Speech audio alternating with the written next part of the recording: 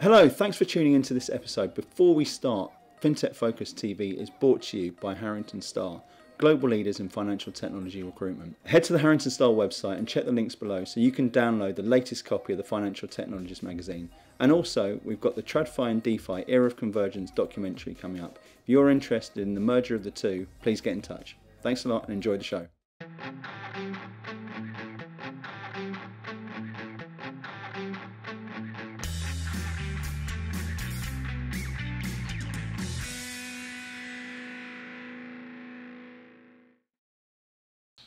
Hello and welcome to another episode of FinTech Focus TV with me, Toby Babb.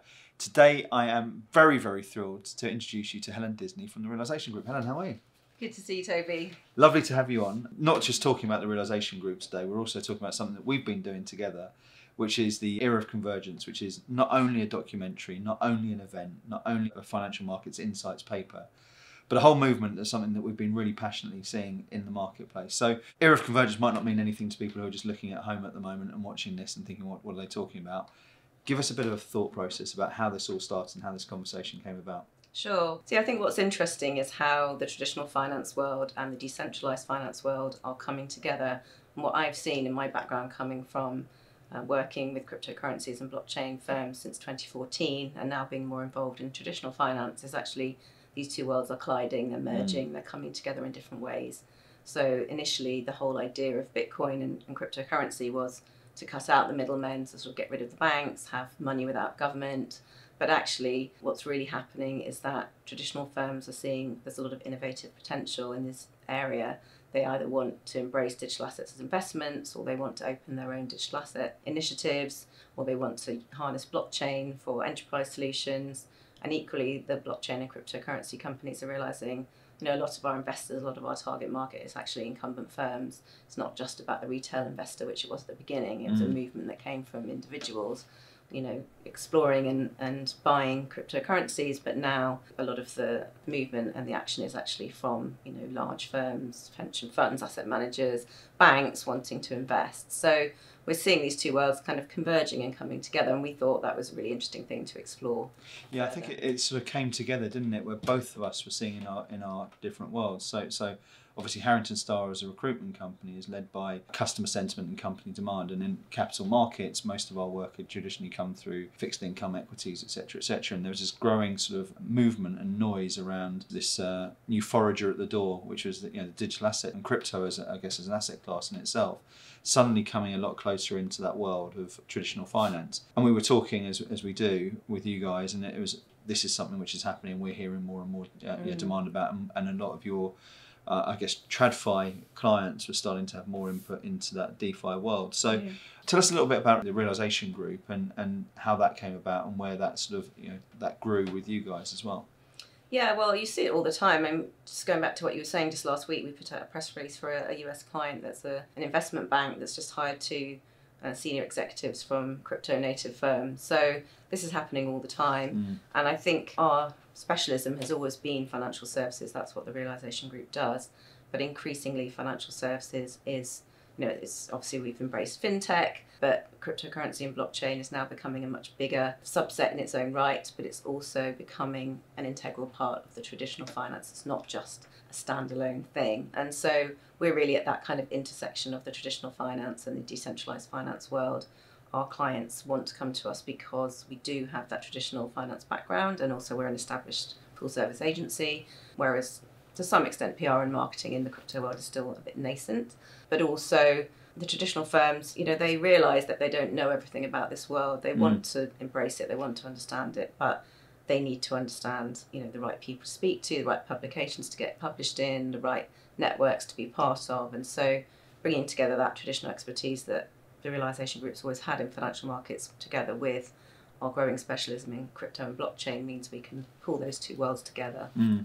And I think it's just as much as, as, as, crypto you mentioned there as an asset class. The secondary part behind that is the is the technology and blockchain. And I think people in the TradFi world are as excited about that as they are above anything else potentially within it. And yeah, maybe more so. Yeah. Um, I mean, I think people often assume that it's just about cryptocurrencies like Bitcoin or Ethereum or many, I mean, there are thousands of others now. But that's just one aspect, you know, cryptocurrency as money, if you like, as currency or as an investment is one part of it. But You've now got lots of different types of digital assets. So you've got obviously a lot of talk about NFTs, non fungible tokens, which is a way of sort of asserting your intellectual property right over a piece of art or a piece of music or a performance or something else of value online that otherwise other people might be able to, to take or copy. Um, you've got kind of digitization or tokenization of traditional securities. So, you know, a tokenized house or, you know, another kind of asset or a bond. And then you've got blockchain itself as the underlying technology underneath cryptocurrencies, which can be used above and beyond cryptocurrency. It's not just about that, it's about being a kind of base layer of being able to track and audit a kind of set of activities and have transparency about what's happened so blockchain is almost like an audit trail, really, of, of activity, Mm. and that's very, very useful in all kinds of areas, whether it's supply chain or you know tracking healthcare data or lots of other different applications. So investors can also be investing in those businesses, not just in the cryptocurrency itself. And I think that's really interesting, isn't it? Because we, we've started now to speak to a number of different people across this in, in exploration of the documentary. So both you and I have been uh, running all over the place, talking to various different people and, and getting their thoughts on exactly what you know what's happening and where the potential is. And the interesting thing for me about this and the conversations I've had so far is is there are different pockets of excitement in different pockets of the area, and we we're speaking to you know large established businesses. We're talking to you know, small incumbents, we're talking to traditional vendors in, in capital markets, we're talking to people on global bases, and, and then we're talking about some DeFi organisations who are, who are there and, and their interest in that TradFi world at the same time as well. And it's a really interesting kaleidoscope that you get when you start talking to people, and this is, you know, it's very much like an onion, isn't it? The more you peel, the, the, the, the more you're revealing all the way through it. Mm. Tell me a little bit about what you're seeing and what's exciting about the conversations you're having in it all. It's great talking to people. I mean, this is such a fascinating area and things are evolving all the time. So I, I genuinely believe that every single business will be affected by this trend. It could just be something as simple as you decide to accept cryptocurrency as a form of payment for your business, just another Mm. means of payment.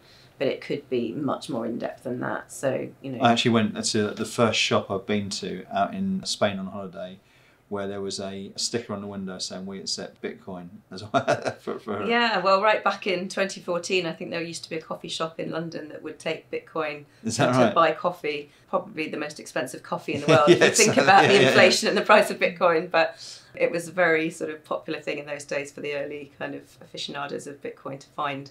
There was an, a pub as well, I think, that, that took Bitcoin payments in East London. It was all in East London because obviously Of that's course, where all the cool things happen. Yeah. That's where I live. So. There you go. But um, yeah, I mean that's a very simple example. But you know, really, DeFi or decentralized finance is the idea that you would be able to essentially decentralize any form of activity that happens in finance right now. So you could have a decentralized mortgage, a decentralized loan, a decentralized equity. You know, lots of different things could be done essentially by computers automating all of the activities. So Mm. if we go back to what we were talking about at the beginning about getting rid of the middlemen, really the middleman has become the technology. If you have a technology that allows you to trust the other side of the transaction and you no longer need a bank to say, well, this has happened, or a, a clearinghouse, or a, you know another kind of intermediary, then if the technology and the mathematical process says, I, I can prove to you that this transaction has taken place, then all of a sudden everything can be automated. So you get a huge explosion of different things you can do. Mm. And the convergence comes not just from traditional finance and decentralized finance coming together. So I think that's a, another aspect of, of what we're talking about when we say the era of convergence, which might sound a bit grand, but there are many different technologies that have come about that are all joining together. So it's not just blockchain or distributed ledgers, it's not just cryptocurrencies. It's the fact that you can combine these technologies with artificial intelligence, with what's going on in the Internet of Things, with the metaverse, which is another whole aspect that we can talk about. So, you know, you can create new business models, new ways of doing things, new ways of investing and trading and running businesses that we've never had before. Yeah, and it's really exciting. I think every time you are talking to someone about, you know, you mentioned it's a grand title, etc., with the era of mm. convergence, but I think it means something to everyone who we're talking about, and they can see this sort of moving together and the possibilities behind it. And I think, yeah, there, there's a very interesting piece there about, as we've seen in various cycles before in financial technology, both sides recognizing that there's an importance for, for the two to work together as opposed to uh, one take over the other, or one squash the other. It's, Mm. it's the, the whole thing about how can we move this further forward. And I think what's interesting about the documentary and bringing that back together is it's focused on a story. And the story sort of starts at the beginning where we talk about the birth of Bitcoin.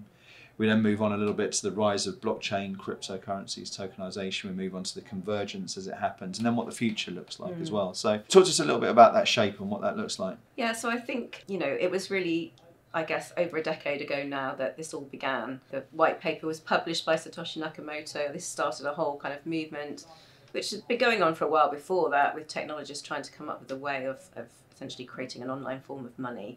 And, you know, it all coincided with the 2008 financial crash with people distrusting banks because they've become so overextended and created such complex products. And I think it was almost like a back to basics of saying we want the people or the users to be able to take back control of the system.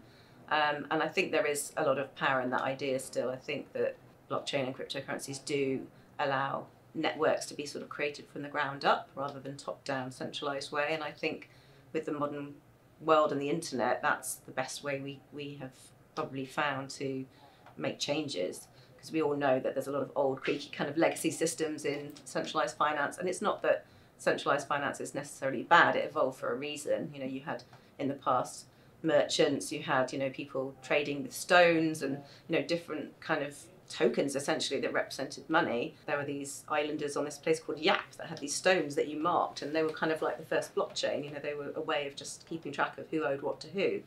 So, you know, we're, we're just modernising something that's been around for a very long time. But I think the fact that you can now do so much of your other activity in life online, you know, the internet's been a wonderful thing. It's given us so much information. You know, the idea that you would have to ring up the train station to get the timetable or, or drive down there to go and ask somebody what time the next yeah. train was. You know, now in two seconds you find it on your phone. And that's kind of the transition we're trying to make with money is yeah. how can we obviously we can do digital payments now, we can you know, use PayPal and we can use other mechanisms, but those still require a company like PayPal in the middle. And I guess what's trying to occur is to get rid of that middle step and just to be able to say you and I can trade directly, whether it's you and me as individuals, Toby and Helen, or whether you know you're JP Morgan and I'm another financial institution over here, that we could actually just make things a lot more efficient. It's got such huge potential, isn't it? And, you, are right there. It's it's it's the classic themes of efficiency, productivity, you know, friction removal that comes up time and time again in any sort of, I guess, discussion around the financial services space. And what I think is really interesting about this is it does just herald a whole new era. And you know, a lot of people I've been talking to about it effectively equate it to the electronification of the markets in terms of the scale that it can have and, and how it can fundamentally change uh, everything within it. Yeah, I mean, you think back to things like, you know, you used to have a trading ring. You know, I went to yeah. a museum in Liverpool a few months back and, you know, it shows the ring where the cotton traders were yeah, standing funny, around and it's great to see that because it reminds you that actually there was a different way of doing things yeah. but trading is still trading yeah. it's just that we, we do it differently just less stripy yeah. jackets less shouting yeah, so um, there's, there's a whole stream of content that's coming out of this that we're really excited. I think it's the, you know the, the, probably the biggest and brightest that both of us have done as companies to really push an you know push an agenda.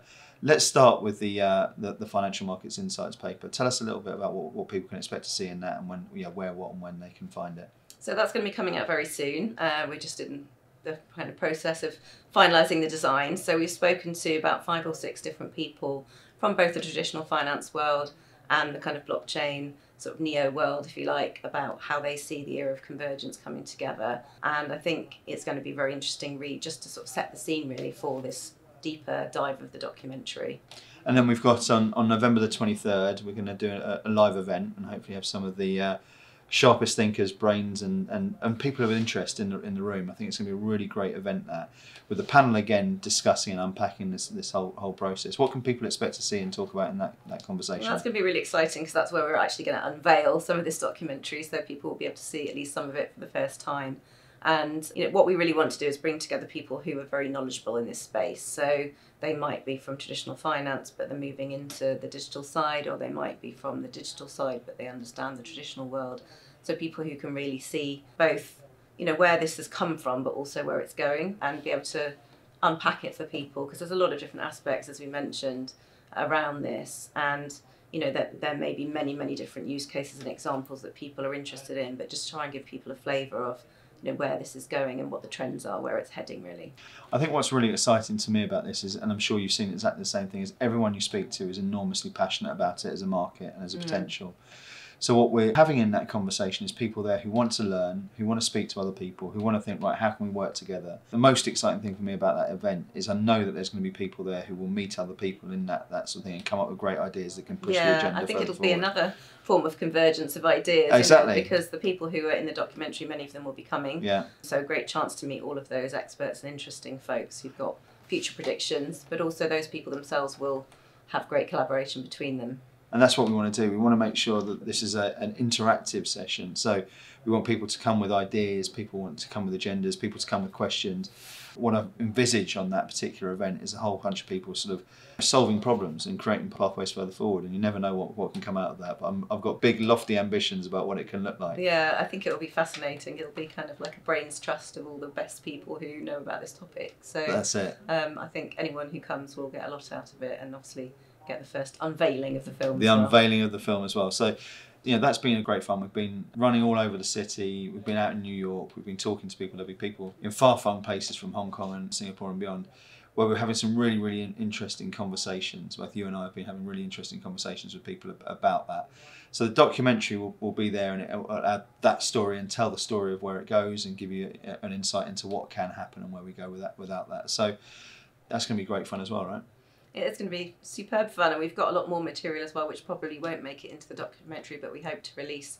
Separately. Yeah, so um, we can only really take a little bit from each person, but the material that's there, I think, is going to provide a lot of extra content, and um, Because it's also ideas, interesting, yeah. right? Everyone's everyone's been so. f- I mean, each person could be a documentary in themselves. that's really. that's exactly the conversation. You know, we have it, and you know, we'll be able to take you know minutes worth of, of the conversation out of there. But there's you know, people could be talking about this for, for days and hours. Yeah, that's something which really excites and energizes me about all of this because it is people there who are who are on a mission and see this opportunity. The thing is, is every time you sort of look at it and talk about it, there's another window that opens. yeah. And and the the interesting thing, as I said before, is how many different companies of shapes and sizes are getting involved in it. So it's like, right, if it goes here, how can it go over there, and how can it map, and how can that person help that person? yeah. I think it's really, really But interesting. for me, this is a real culmination because I've been sort of banging on about this stuff since 2014. We're catching up with you. Yeah.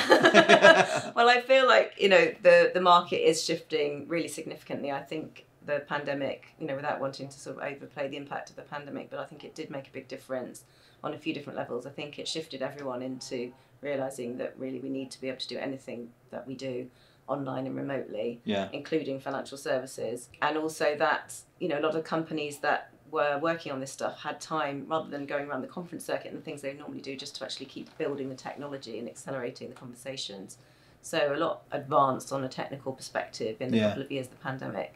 So I think what we're seeing now is a real flourishing of the post-pandemic activity. I agree. I think there's a lot to you know, a lot to be said. That, that there's there's so many negatives that came out of the pandemic that actually there was a number of different positives that accelerated everything. You know, we've spoken on the show many times about cloud adoption finally in the uh, you know, in the financial markets, but this is another thing. You know, that we've had hype cycles and at various different times. Of, I think probably we had our first event talking about crypto in 2017, 18 maybe.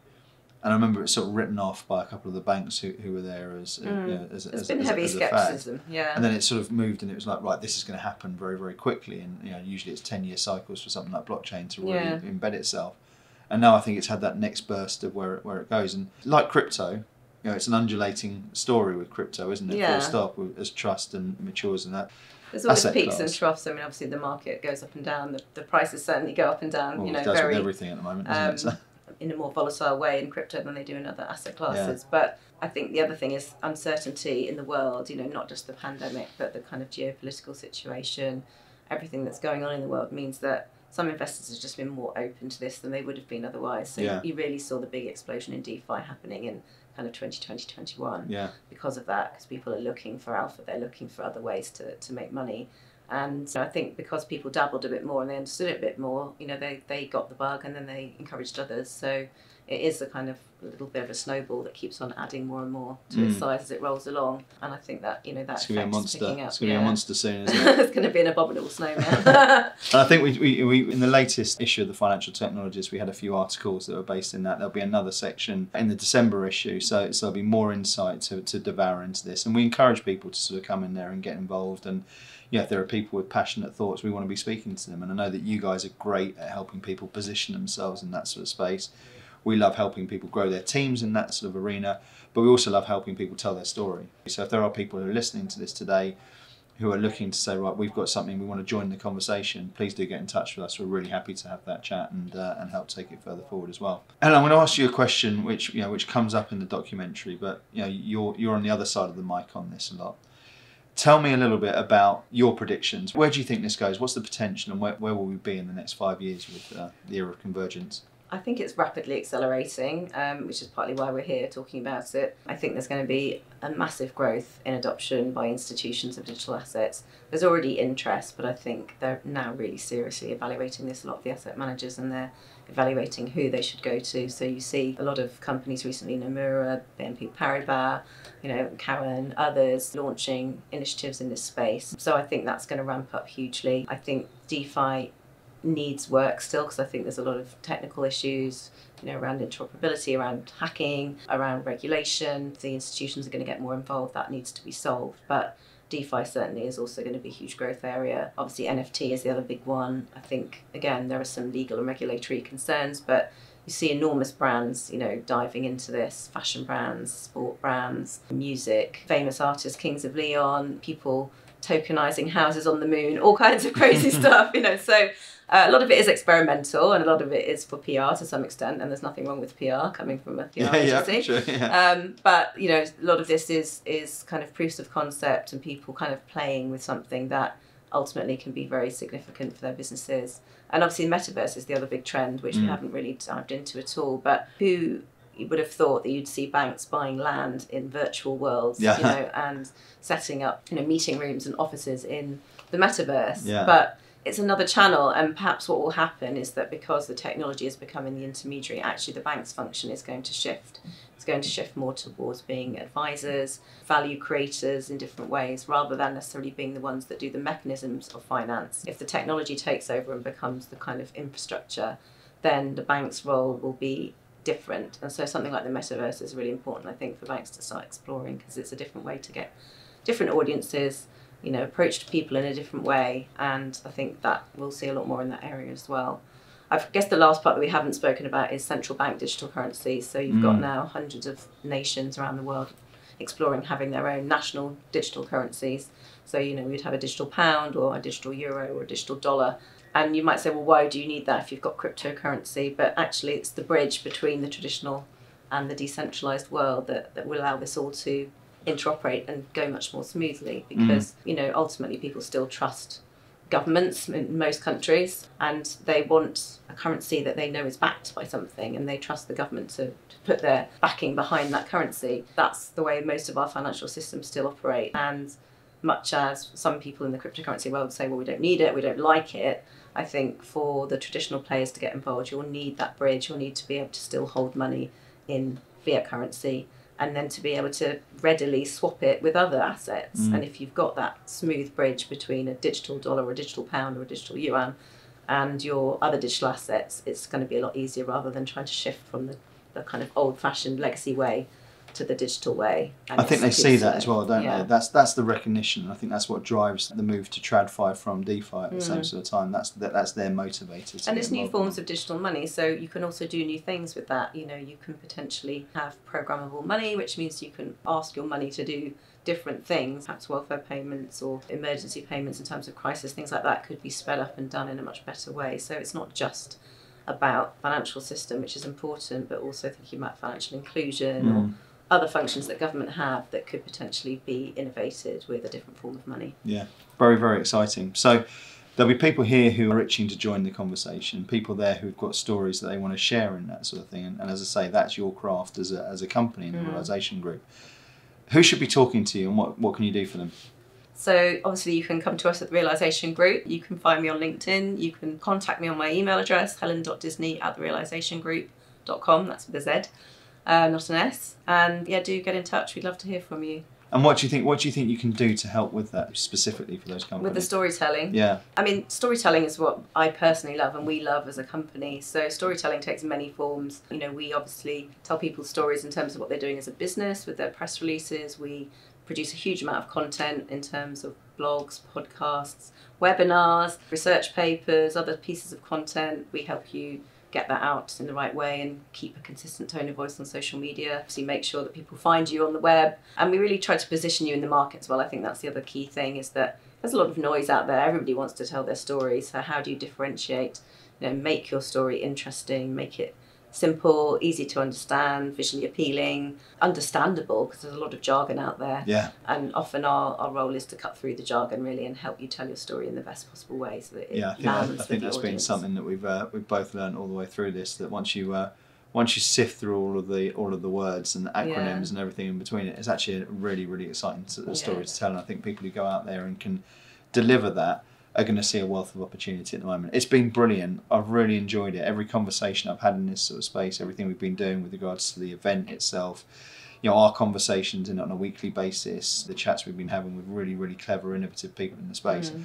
I think it's going to be really interesting. So, watch the documentary, come to the event, read the paper, You never Get the might even be magazine. a book. and, and, and, books are, books come after that as well. So it's really really exciting, and we're really excited to share it all with you. Thanks so much for listening to us today. This has been Helen Disney. It's been wonderful talking to Thanks very much for having me, Toby. you. Absolute pleasure, and thank you all for watching. We'll see you soon on another episode of FinTech Focus TV. Bye for now.